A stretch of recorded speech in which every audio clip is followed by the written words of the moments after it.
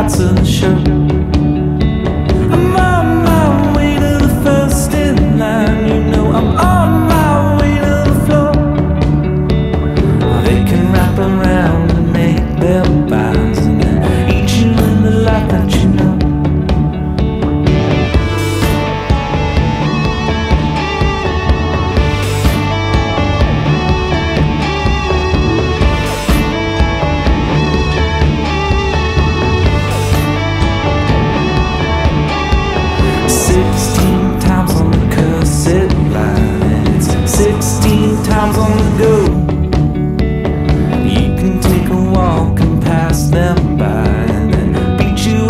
life that you hold.